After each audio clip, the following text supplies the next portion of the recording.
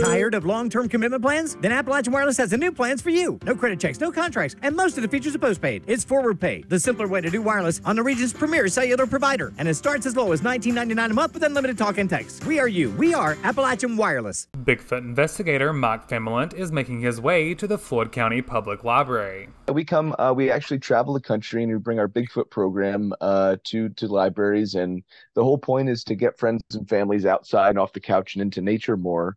Um, but we do this through Bigfooting.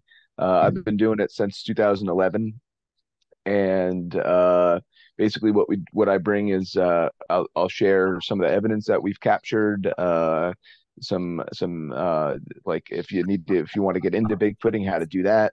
Uh, and some other cool stuff uh, about like the the stuff we use, the techniques we use, and the equipment we use, and stuff like that.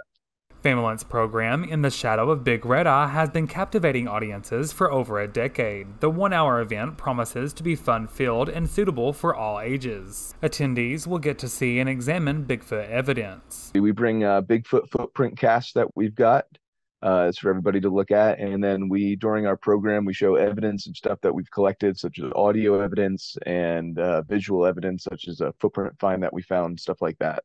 Mark Famelent's fascination with Bigfoot started when he claims to have encountered the legendary creature in Florida. Since then, he has devoted his life to investigating Bigfoot sightings and researching evidence from around the world. So, uh, back in 2011, uh, I got into Bigfooting. Uh, I had a rock thrown at me in North Florida, and or a couple rocks thrown at me in North Florida, and that really got me into the whole Bigfoot uh, phenomenon and I looked into it more and more, and we started going out more and more and collecting more evidence. And uh, finally the shows on TV were not portraying the way Bigfoot was accurately was was is accurately done. So the shows on TV are kind of fake for for lack of better words.